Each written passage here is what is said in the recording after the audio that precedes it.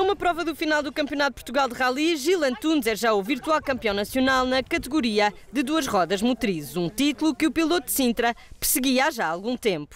Conseguimos levar daqui uma vitória e consecutivamente com essa vitória o título nacional nas duas rodas motrizes e na categoria RC3. É festejar, era um título que eu ambicionava já há três anos, sempre vice-campeão e este ano foi o nosso ano. Um ano de festa, muito trabalho e evolução com os carros de duas rodas motrizes a ser uma ótima escola. Na minha opinião, acho que sim, e acho que deve-se começar sempre por carros uh, inferiores, carros que, em que nós consigamos exigir dos carros e não os carros exigir do piloto.